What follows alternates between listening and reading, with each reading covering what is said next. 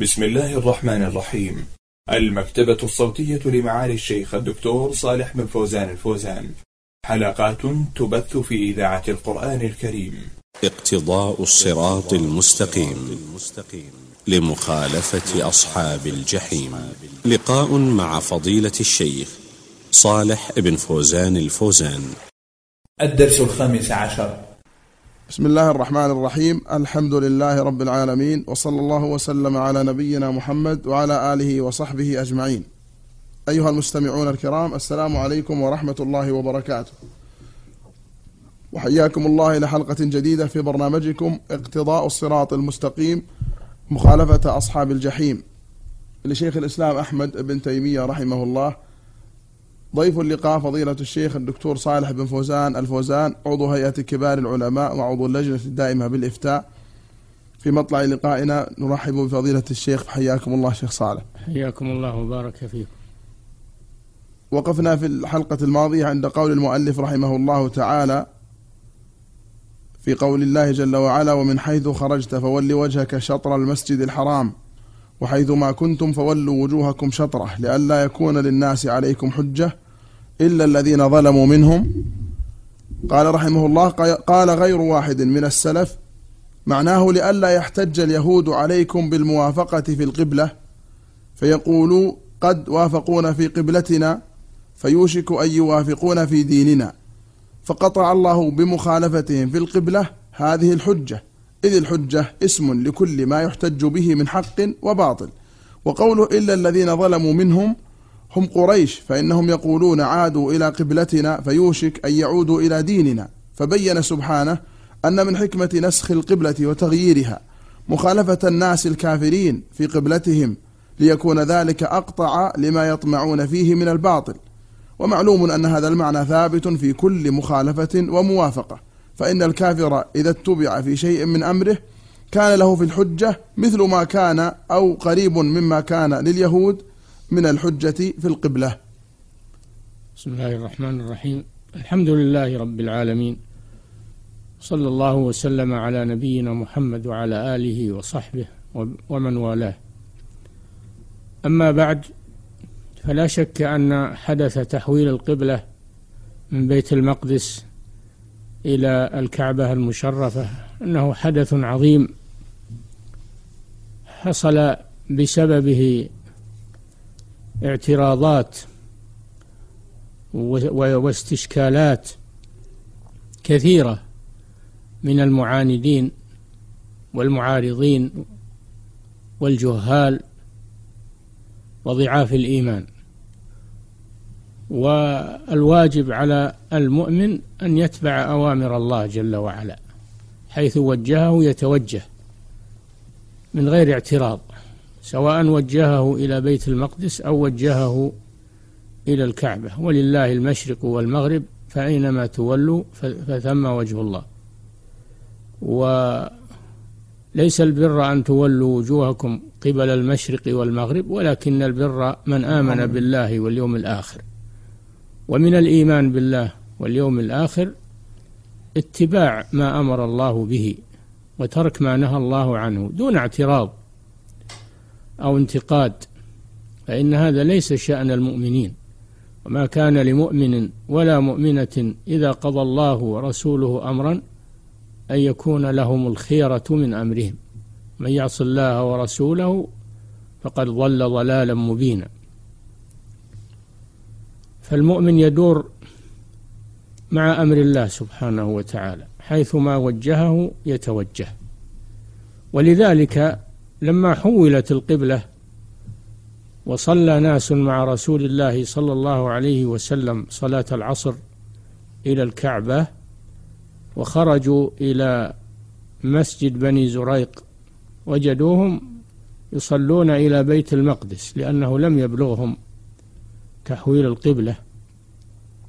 فلما أخبروهم استداروا وهم في الصلاة.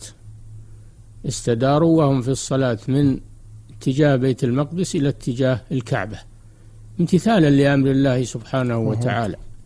دون اعتراض ودون أي استشكال لأنهم مؤمنون بالله عز وجل ومؤمنون برسوله صلى الله عليه وسلم. فهم يدورون مع أمر الله جل وعلا. أما اليهود فإنهم فرحوا في الأول لما توجه النبي صلى الله عليه وسلم إلى قبلتهم وقالوا إنه سيوافق ديننا وليس هذا هو ليس هذا كما تصوروه فإن فإن الرسول صلى الله عليه وسلم يتمشى مع أمر الله فحيث لم يأمره الله بتحول عن بيت المقدس بقي على ذلك نعم. بقي على ذلك فلما أمره الله بالتحول إلى الكعبة توجه إلى الكعبة دون أي توقف وتوجه معه المؤمنون دون أي اعتراض أو أي استشكال لأنهم عباد لله يأتمرون بأمره. فهو لم يوافق لم يستقبل بيت المقدس من أجل أن يتبع اليهود. وإنما استقبل بيت المقدس لأنه لم يؤمر بالتحول عنه بعد ولما تحول إلى الكعبة فنفس الاعتراض الذي قاله اليهود قال المشركون تحول إلى قبلتنا يعني الكعبة نعم. المشركون من العرب تحول إلى قبلتنا فيوشك أن يتحول إلى ديننا يعني دين المشركين نعم. نعم. وهو عبادة الأصنام حاشا وكلا فهو لا يلتمس رضا أحد من الناس أو موافقة أحد من الناس وإنما يتمشى مع أمر الله سبحانه وتعالى. ولهذا قال جل وعلا لئلا يكون للناس عليكم حجة. لو بقيتم على الصلاة إلى بيت المقدس لاحتج عليكم اليهود بأن قبلتكم الكعبة كما هو عندهم في التوراة. و وكذلك الذين ظلموا منهم وهم المشركون ظنوا أن تحوله إلى الكعبة أنه سيتحول إلى دين المشركين. والله جل وعلا وصفهم بالظلم. إلا الذين ظلموا منهم أي من الكفار. فهؤلاء لا عبرة بقولهم أو أو توقعاتهم. فإن الرسول صلى الله عليه وسلم لا يتمشى مع رغبات الناس أو استرضاء الناس وإنما يتمشى حسب أوامر الله سبحانه وتعالى. فلا مطمع لأحد لا من اليهود ولا من المشركين أن الرسول صلى الله عليه وسلم سيوافقهم على ما هم عليه أو يترضاهم في دينهم وإنما هو يدور مع أمر الله سبحانه وتعالى. ولهذا قال فلا تخشوهم واخشوني وليتم نعمتي عليكم ولعلكم تهتدون. فلا تخشوا اليهود ولا تخشوا المشركين وإن قالوا ما قالوا فإنكم مع الله سبحانه وتعالى وفي طاعته وامتثال أمره. ومن كان كذلك فإنه لا يخشى أحدا في تنفيذ أوامر الله سبحانه وتعالى وإن اعترض المعترضون. نعم. أحسن الله إليكم.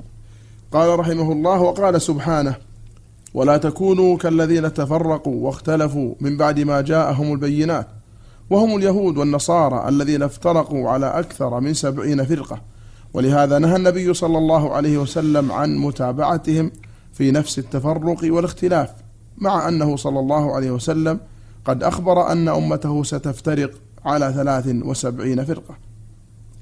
نعم ومن جملة ما نهانا الله عنه من التشبه بالكفار تشبه بأهل الكتاب من جملة ذلك تفرقهم. فإنهم تفرقوا افترقت اليهود على إحدى وسبعين فرقة وافترقت النصارى على اثنتين وسبعين فرقة بسبب اتباع الأهوى وما كان لهم أن يفترقوا لو تمسكوا بكتاب الله التوراة والإنجيل. لكانوا صفا واحدا. فهم افترقوا تبعا لأهوائهم. فالله ينهى هذه الأمة أن تتشبه بهم في التفرق والاختلاف وترك ما أنزل الله عليهم. ولا تكونوا كالذين تفرقوا واختلفوا من بعد ما جاءهم البينات. وأنتم قد جاءتكم البينات وهو القرآن الكريم والسنة النبوية فلا, فلا تتفرقوا آه، حسب الأهواء والرغبات والعصبيات وإنما ما وإنما تكونون أمة واحدة وإن هذه أمتكم أمة واحدة وأنا ربكم فاعبدون. والله جل وعلا يريد لنا الاجتماع. واعتصموا بحبل الله جميعا ولا تفرقوا. التفرق والاختلاف شر. ولكن مع هذا مع نهي الله عن التفرق وعن مخالفة اليهود والنصارى في تفرقهم فإنه حصل في هذه الأمة تفرق واختلاف لكن بعد ما بلغتهم الحجة وقامت عليهم البينة فلا عذر لمن تفرق وخالف فإن هذا عن هوى والتفرق إذا كان عن هوى فإنه لا عبرة به. فهذا هو آه، السر في إيراد المصنف رحمه الله لهذه الآيات. لأن الكتاب موضوع كله النهي عن التشبه باليهود والنصارى. اقتضاء الصراط المستقيم مخالفة أصحاب الجحيم ومن جملة ذلك التفرق. فإنهم تفرقوا في دينهم فالله نهى هذه الأمة أن تتفرق في دينها وأن تكون وأمرها أن تكون أمة واحدة على كتاب الله. والذي يعصم من التفرق هو التمسك بكتاب الله واعتصموا بحبل الله جميعا. فمن اعتصم بحبل الله فلن يتفرق وإنما يتفرق من آه، خالف حبل الله سبحانه وتعالى كما حصل لليهود والنصارى. أنهم لما خالفوا كتاب الله تفرقوا. كذلك من من ضل من هذه الأمة فإن تفرقه وضلاله إنما هو بمخالفة الكتاب والسنة. وأما من اعتصم بالكتاب والسنة فإنهم لا يتفرقون أبدا بل يكونون جماعة واحدة. نعم. جزاكم الله خير. العدد المذكور في الفرق يا شيخ 71 72 73 مقصود منه التحديد أو ليس التحديد ليس المقصود التحديد فالفرق أكثر من هذا. ولكن يقول العلماء هذه أصول الفرق. هذه الأعداد هي أصول الفرق وتشعبت وتفرقت إلى فرق أخرى. نعم. جزاكم الله خير. قال رحمه الله مع أن قوله صلى الله عليه وسلم لا تكن مثل فلان قد يعم مماثلته بطريق اللفظ أو المعنى وإن لم يعم دل على أن جنس مخالفتهم وترك مشابهتهم أمر مشروع ودل على أنه كلما بعد الرجل عن مشابهتهم فيما لم يشرع لنا كان أبعد عن الوقوع في نفس المشابهة المنهيين عنها. وهذه مصلحة جلية. نعم التشبه يختلف. قد يكون تشبها كثيرا وقد يكون تشبها قليلا وكله منهي عنه لأن التشبه القليل يجر إلى التشبه الكثير. الكثير. وأيضا هو مخالفة ولو كان قليلا. فالإنسان لا يتساهل في أمر التشبه. التشبه منهي عنه سواء كان قليلا أو كثيرا سواء كان في العبادات أو في آه، العادات الخاصة بهم. فإن منهيون عن التشبه بهم في أي شيء من من خصائصهم. نعم. وقال سبحانه لموسى وهارون فاستقيما ولا تتبعان سبيل الذين لا يعلمون. وقال سبحانه وقال موسى لأخيه هارون اخلفني في قومي وأصلح ولا تتبع سبيل المفسدين. وقال تعالى ومن يشاقق الرسول من بعد ما تبين له الهدى ويتبع غير سبيل المؤمنين نوله ما تولى ونصله جهنم. إلى غير ذلك من الآيات. الآية الأولى. فاستقيما ولا تتبعان سبيل الذين لا يعلمون. نعم الله جل وعلا أمر آه، موسى وهارون عليهما السلام بالاستقامة. على كتاب الله التوراة وما أوحى الله إليهما ونهاهما عن اتباع سبيل الذين لا يعلمون. فدل على أن من خالف ما أنزل الله فهو جاهل وإن ادعى أنه عالم. و فليس بعد والله جل وعلا يقول فماذا بعد الحق إلا الضلال فأنا تصرفون. فأي إنسان يأتي بشيء يظن أو يعتقد أنه خير وهو مخالف لما في كتاب الله فإنه فإنه ضلال. ولو كان يظن أنه أنه هدى وهو شر وإن كان يظن أنه خير. أنه خير. ولا تتبعان سبيل الذين لا يعلمون. وهذا منهج يجب أن يسلكه المؤمنون في كل زمان ومكان. وهو التمسك بما أنزل الله وترك سبيل المخالفين لأنهم على جهل. ما داموا ليسوا على منهج كتاب الله فإنهم على جهل وعلى ضلال. نعم. وقال موسى لأخيه هارون اخلفني في قومي وأصلح ولا تتبع سبيل المفسدين. لما أراد موسى عليه السلام أن يذهب إلى موعد الله الذي وعده أن يعطيه أن يعطيه صحائف التوراة. ووعدنا موسى ثلاثين ليلة وأتممناها بعشر. فتم ميقات ربه أربعين ليلة. لما تم الموعد وحان الذهاب إلى مكان الموعد الذي وعده الله فإنه أوصى أخاه هارون. وهكذا ينبغي لولي الأمر أنه إذا أراد أن يغيب عن رعيته أنه يوصي ويخلف من يقوم مقامه.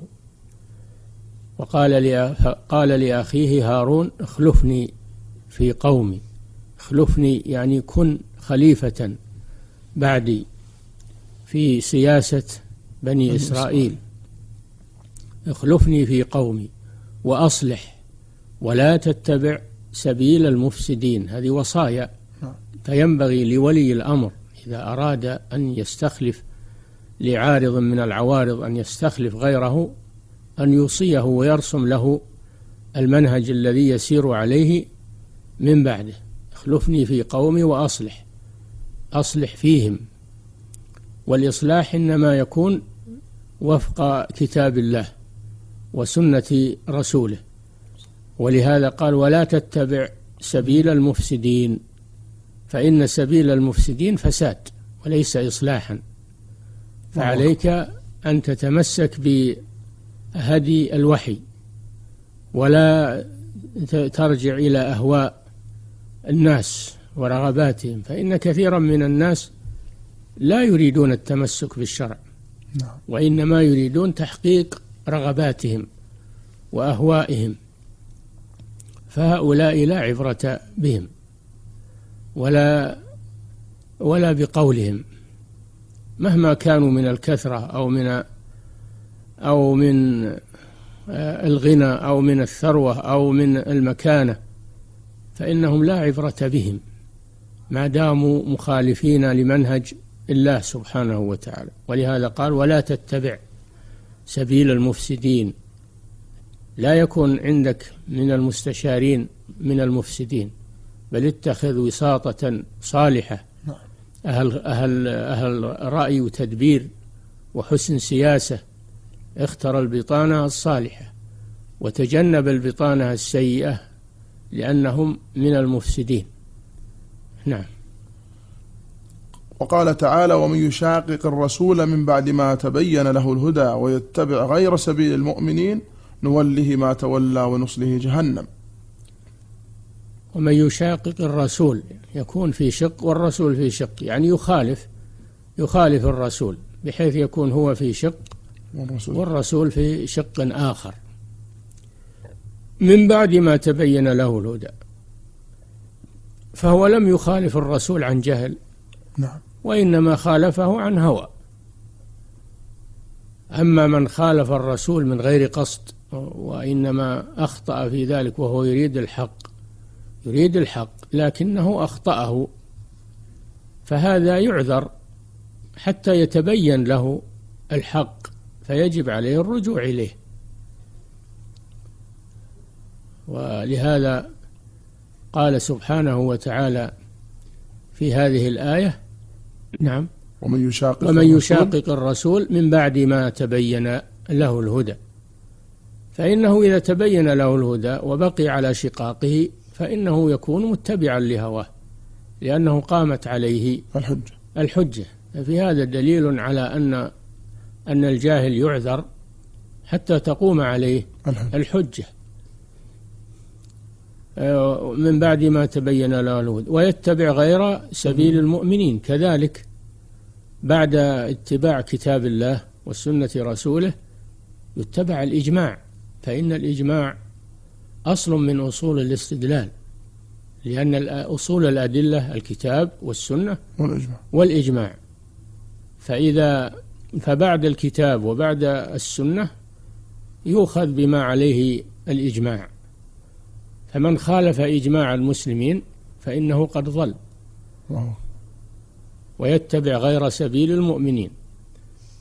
توعده الله بقوله نوله ما تولى ونصله جهنم وساءت مصير وساءت مصيرا.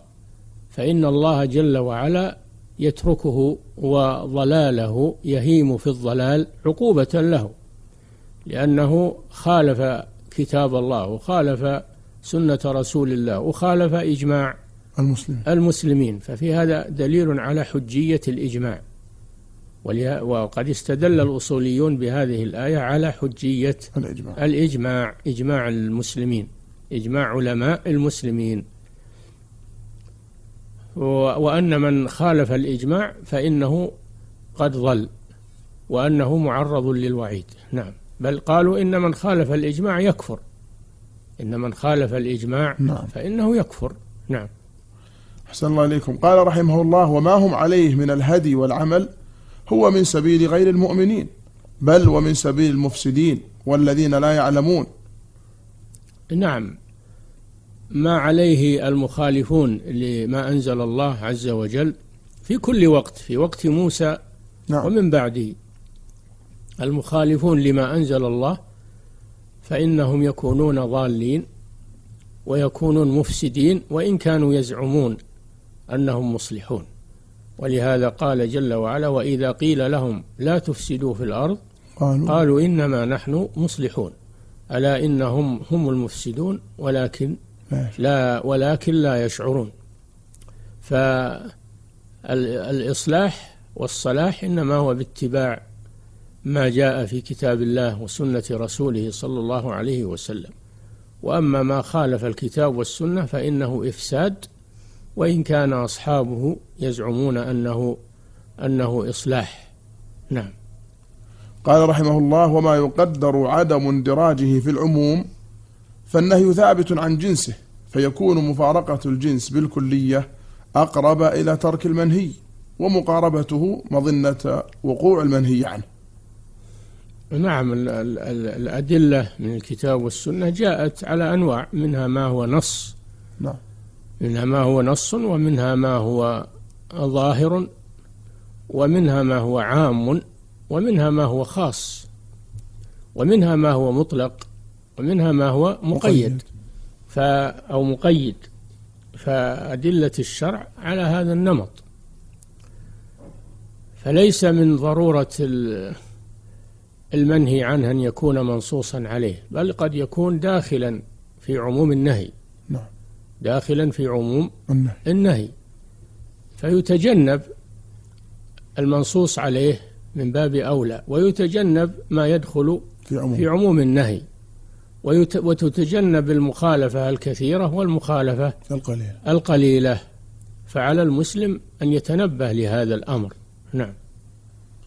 قال سبحانه وأنزلنا إليك الكتاب بالحق مصدقا لما بين يديه من الكتاب ومهيمنا عليه.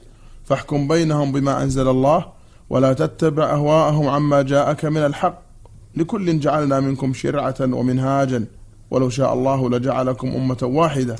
ولكن ليبلوكم فيما آتاكم فاستبقوا الخيرات. إلى الله مرجعكم جميعا فينبئكم بما كنتم فيه تختلفون. إلى قوله بعدها ولا تتبع أهواءهم واحذرهم أن يفتنوك عن بعض ما أنزل الله إليك. ومتابعتهم في هديهم هي من اتباع ما يهوونه أو مظنة لاتباع ما يهوونه وتركها معونة على ترك ذلك وحسم لمادة متابعتهم فيما يهوونه. من الأول.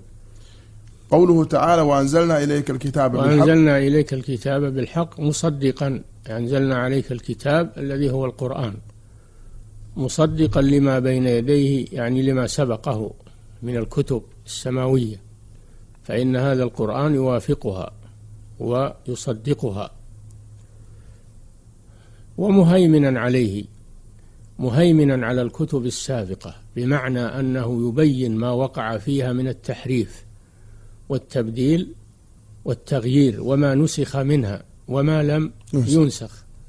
فهو هذا الكتاب القرآن الكريم مهيمن على الكتب السابقة بمعنى أنه يصحح الصحيح الذي لم يغير ويبين المبدل والمغير والمنسوخ ومهيمنا عليه. فاحكم بينهم بما أنزل الله. أمر الله نبيه أن يحكم بين الناس بين اليهود والنصارى وغيرهم نعم.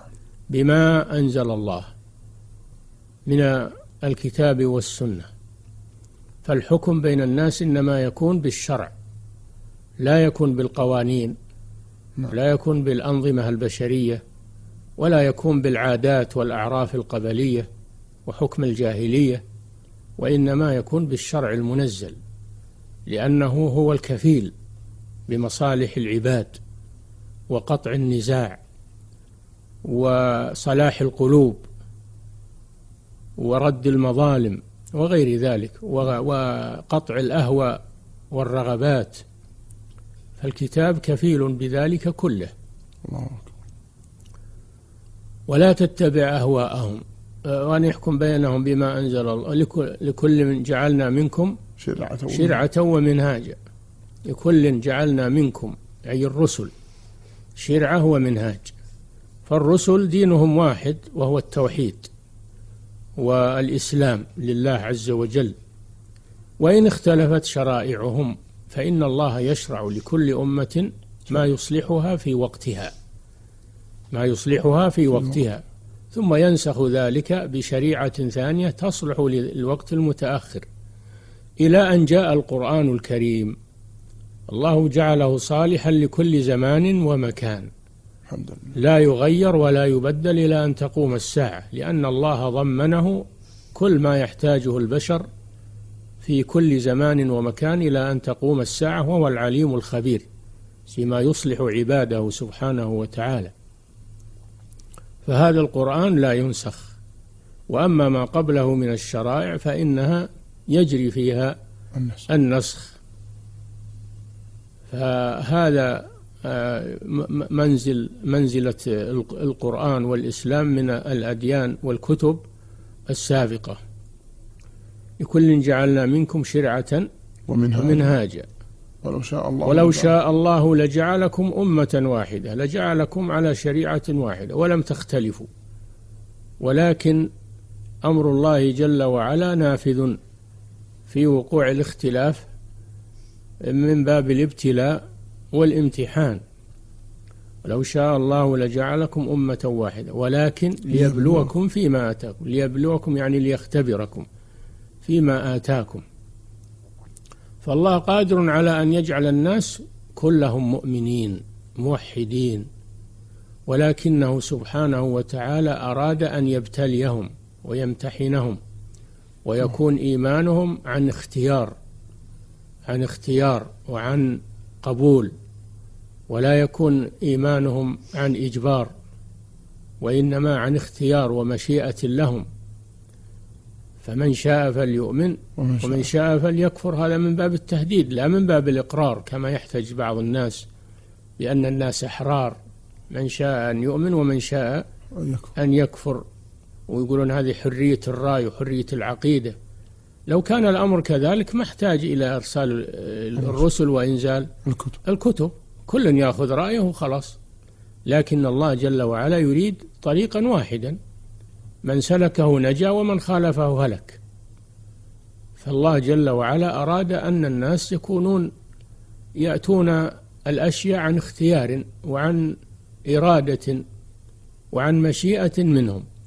فإن كانت خيرا حازوا على الصلاح والفلاح وإن كانت شرا حازوا على الخسار وهذا فعلهم هم وهذا اختيارهم هم, فجعل الاختيار لهم في هذا الأمر.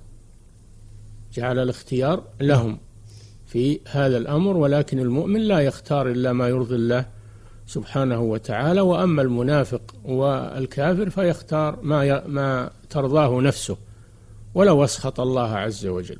أحسن الله إليكم شيخنا وجزاكم خيرا. أيها المستمعون الكرام ندع إتمام حديث شيخنا إلى لقائنا القادم إن شاء الله لنهاية وقت حلقتنا دونه. شكر الله لشيخنا ما تكرم به من الشرح والبيان وشكر لكم حسن استماعكم ونفعنا وإياكم بما نقول ونسمع. هذه في الختام تحية مهندس الصوت زميلي يحيى عبد الله إبراهيم حتى نلقاكم في الحلقة القادمة إن شاء الله. نستودعكم الله والسلام عليكم ورحمة الله وبركاته.